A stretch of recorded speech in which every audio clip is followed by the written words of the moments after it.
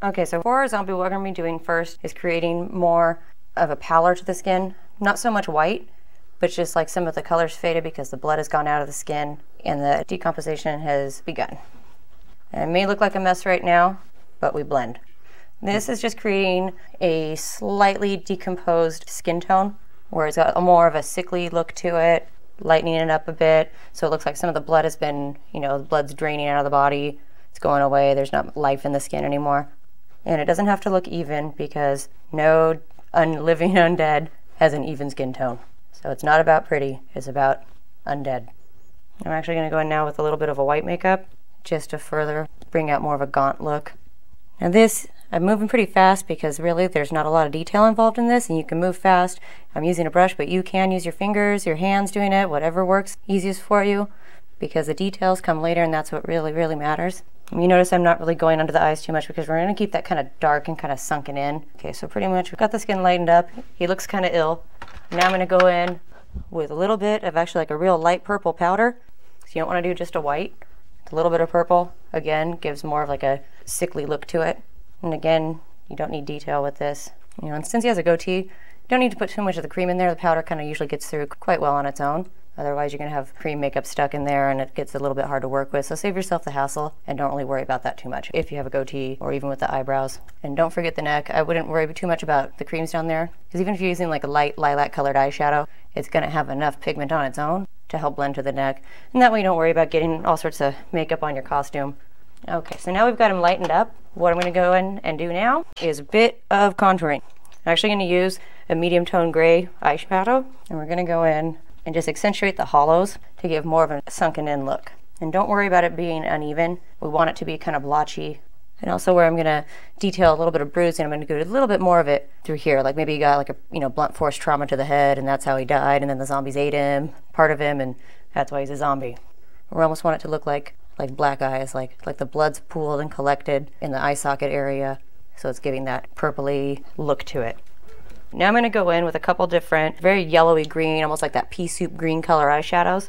And that's going to show old bruises. Like when your bruise fades a bit and it's got that yellowy, ugly green look to it, that's what these are going to do for you. So I'm going to go in this where we started with darkening this here with the purpley gray shadow to make a bit of a bruise. We're going to add some of this right on top of it. And so far I'm just using bigger, fluffier brushes because it's more of a shadowing, not so much detail. So pretty much I was just using the darker pea soup green. Now we're going to go ahead with a little bit lighter yellowy one more so around the edges of it, slightly overlapping, so it blends it together. So we've got pretty much our green shading done, sickly look. Now I'm going to go in with a little bit different kind of a gray brown, just with a little bit smaller brush right in here to really accentuate just a really like darker under eye area. So I'm still using kind of a fluffy brush, a little bit smaller version. And if you'll notice, we start out with the bigger picture and now we're slowly moving into detail, but still not too detailed. We'll get to the veins and actual bruising details in a little bit.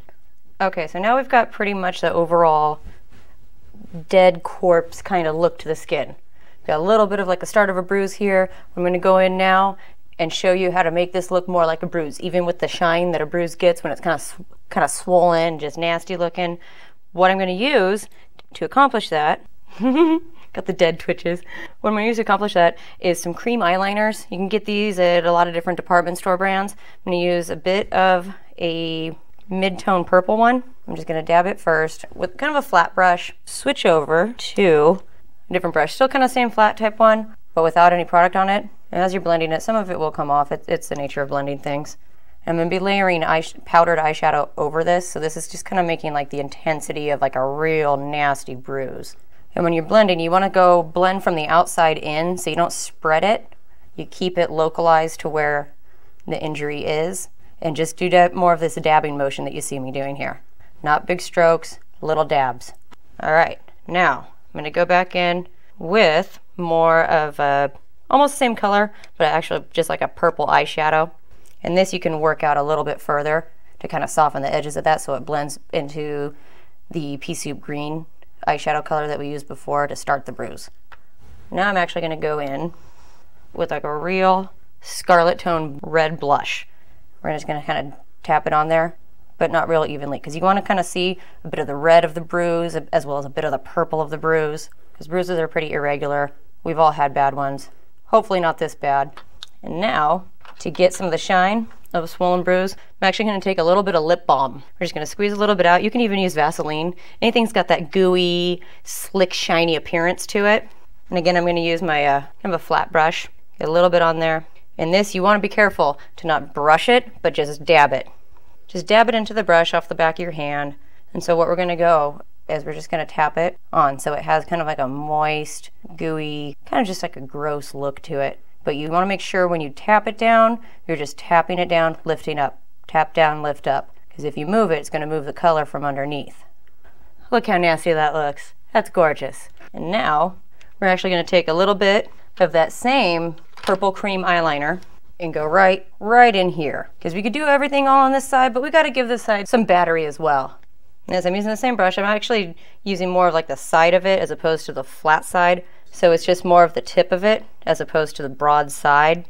So using like the edge of a flat brush. A little too much on there. You don't want to have too much. And just again, kind of tap. So you're just placing it right now. So you got it placed. I'm gonna go back in with our smaller flat brush that we use for the uh, lip balm. Just wipe it off in between. Doing a zombie or an undead look of any type, things can be a bit messy and irregular because that's pretty much zombies. Kind of the sci-fi horror world's irregularities.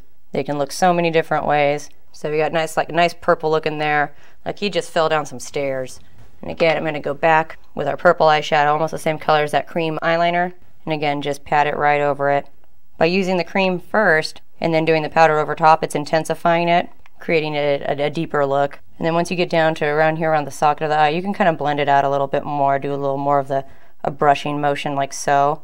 But where you want it really intense, just pack it in there. Just tap a tap a tap a tap a tap a. Now I'm going to go in with that Scarlet Red blush. Same brush. I'm not even going to bother cleaning it off because if it all mixes together, that kind of works for this. So again, just get some on there. I always shake mine off a little bit so you don't end up with it all over here. And just tap it in. And this we're actually going to run it a bit across the eyelid here. And just, just for the sake of it, I'm not going to do purple over here, but we're going to do some of the red is mixed with that pea soup green, it's just going to make kind of an ugly, muddy, little bit red. Just an overall not healthy look. And that's all what zombies are about. And now I'm going to have him look up with his eyes. Now, a lot of guys, this is kind of weird for them. They're not used to this, but give them time to blink. And you're just tapping. You're not even really getting that close. It's just kind of brushing it down. So it looks just, just nasty and bloody. And we're going to do a little bit of this right around the nose here and the corners of the mouth too. And I'm pretty invasive. I'm not afraid to get up in there a little bit. If it's a good friend of yours, your boyfriend, whoever you're doing this on, they should know that you're not trying to search for anything.